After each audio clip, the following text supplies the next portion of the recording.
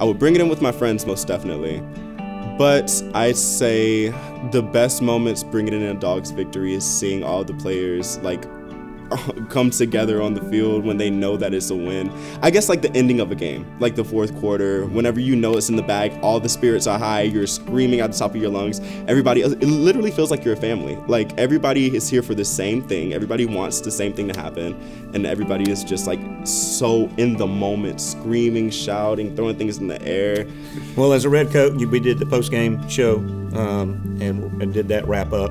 So you, typically uh, last ones out of the stadium and then uh, we would all go downtown and drink lots of water. I mean, you got to get rehydrated. yeah. Right. Yep. So, so much water. You know, you, you don't want to go to bed uh, thirsty. So mm-hmm. we would do that a lot and then go home and go sleep. Oh, perfect. That sounds like a plan to me. I think so. It's my story anyway. I'm sticking to it. I would too, truly.